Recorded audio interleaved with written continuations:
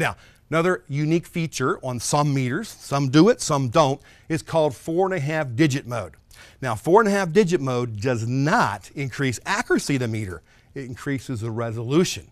In other words, instead of having a little bitty speedometer, you really can't tell how fast you're going, although it's super accurate. Great big speedometer so you know at each point where you are.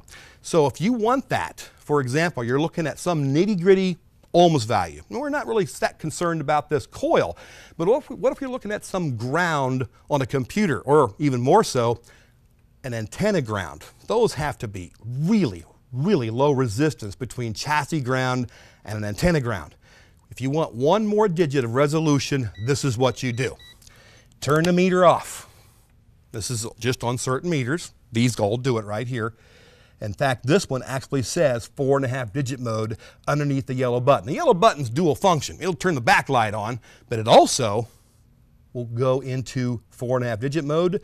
When I turn it to ohms, for example, release the button. Now instead of seeing 0.6 or 0.8, I'm seeing 00.81. One more digit of resolution. So an advanced feature, if you didn't know it, now you do. The more you know about your meter, the more you can master it, the easy diagnost easier diagnostics get.